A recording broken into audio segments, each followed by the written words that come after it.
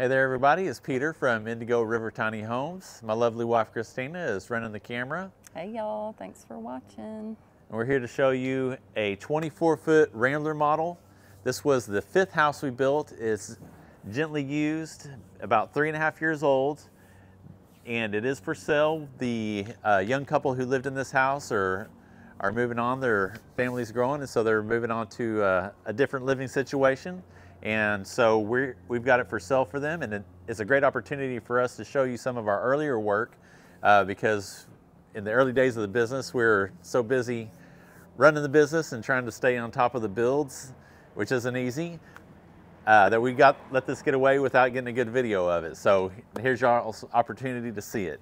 And so this one is built with uh, structural insulated panels, which is a great way to build uh, tiny houses on wheels it's much more structurally sound. It's about three times stronger than conventional 2x4 framing. And this house has been moved about five or six times and has held up wonderfully. So y'all want to take go inside and take a look? I know they do. All right, so we got the board and batten exterior here. Oh, this one has the black vinyl window upgrade and a cedar exterior, cedar accent panel. And then the got the full light door with the blinds between the glass.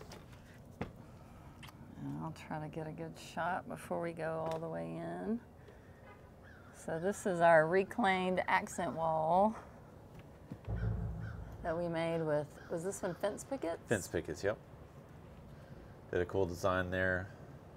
Me and our lead carpenter at that time kind of sketched something out and came up with this design and Turned out great, I think.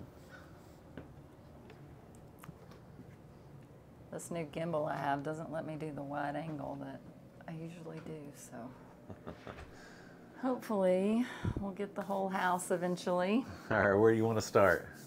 I guess the kitchen. All right, so this is a 24 foot house and it does have a full kitchen. It's got a slat out pantry here oh, with the soft I wasn't close. quite down low oh, enough. Try that again. Sorry. It's got two two shelves, shelves. in it. It's got the toe kick drawers down below. So we were doing that even early on. It's got a full stove with four burners in a oven, the microwave, another pull-out pantry here, and another one on the other side of the sink. Got the apron front farmhouse sink, which is a nice, that's our standard sink now. At that time, it was an upgrade. Um, apartment size fridge with the pedestal drawer to raise it up off the floor so it's easier access. And more toe kicks than the one you just opened. Yeah, there are a couple more under there. So above, people ask why do we have a catwalk? So some people have cats, but if you even if you don't have a cat, it's a good place. To see how the light is there? It gives a good place to put the vent and attach the vent for the above the stove, and then uh, we put lights. A lot of times we'll put lights in that space, and then it gives you a place to put some plants or storage bins or whatever you want. And a lot of times we'll put clerestory windows. We don't have it in this one, but a lot of our houses do have the clerestory windows up there above that catwalk, so it helps with the um, for plants as well. And then we've got the storage stairs. This one has four drawers in it. So lots of storage, doors and drawers, and that's where the trash can is in this one. You want to go through to the bathroom? All right, so this was the first stand-up loft we built, right? Um, Here's another no, frequently frequently asked question. Everybody asks, why don't you have storage in the bed platform? So you see the bed platform is here, and then the bathroom is here. Six foot eight head clearance in the bathroom? Uh, six, six, six, I think. Oh. Close. You told me six eight. I, I, I could be wrong. I was wrong one of those times. I might be wrong. You've told me times. six eight more often than you've told me six six. Because it's I know it's six four in the loft, correct? Yeah. So this is where the washing machine goes. You can see the, the connections. Um, And then the water heater is behind this door here. That's a full size soaking tub there. What else you want to say about this bathroom? It's got everything you need. It's full size. Yeah. I agree. Lots of floor. I'm going to show the floor space. so, yeah, they put some good hooks here for you. And then we What's got the, how big is the bathroom? that one, uh, I think it's five feet wide by seven feet front to back. Okay. And then the living area here is a nice, nice living space. There's a pull down s- screen here, yeah, they have this. Uh, and then a projector up above. And so th- this house is equipped with blackout shades all throughout the house. So even in the daytime, you can uh, close all the blackout shades and still watch a, a movie on the projector. it gets really dark Yeah. in here. so they put this in. Of course, we could take it out out if you want, but um, it's a pretty cool system here, and it's pretty easy to. They even taught me how to use it with the remote. Yeah, very So- easy to use. Lots of space here in the living room. Full size sofa. you could Full-size do a sleeper sofa if you wanted. There's plenty of room. Plenty of room for lounging. Picture windows. And then we got clerestory windows on this side, which all have blackout shades and they're they've even got a remote for those ones that are hard to reach.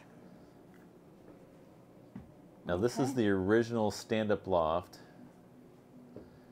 So we can add one of those steps here that these guys, um, this is before we got smart and started building in steps, but um, we just retrofit another house with a little step. So if you want, we can do that for you. So it's a single wardrobe with the hanging space and three drawers. And then queen size bed platform. Yes, queen size bed. So tons of storage there. And then plugs, um, that lamp and, oh, I didn't turn it on. That lamp and that fan are plugged in over there in that corner. Yeah. And then if you want, you can put a little um, curtain right here if you want privacy, but this one's just open. And then here's the egress window, of course. There we go. Oh yeah, emergency exit. And this one does have a really cool ceiling fan. Uh, it looks like a uh, airplane propeller. Oh yeah, I'll show that once I get back down. So this is a cool. It looks like a piece of art when it's up, but you can hang your. This is a good place to hang your towel when you come upstairs after your after your bath After you soak in the in the tub. in the soaking tub. Okay, what else? We need to talk about SIPs.